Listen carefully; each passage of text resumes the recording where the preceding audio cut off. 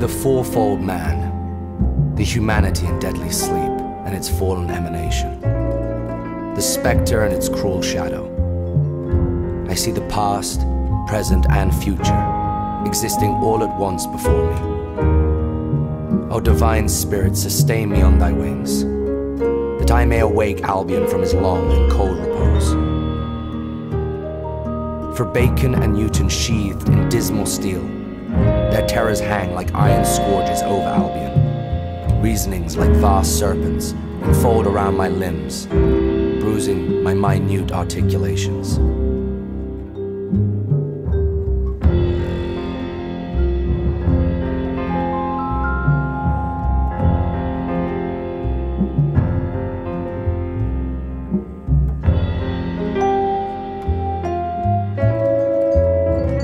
I turn my eyes to the schools and universities of Europe, and there behold the loom of Locke, whose woof rages dire, washed by the water wheels of Newton.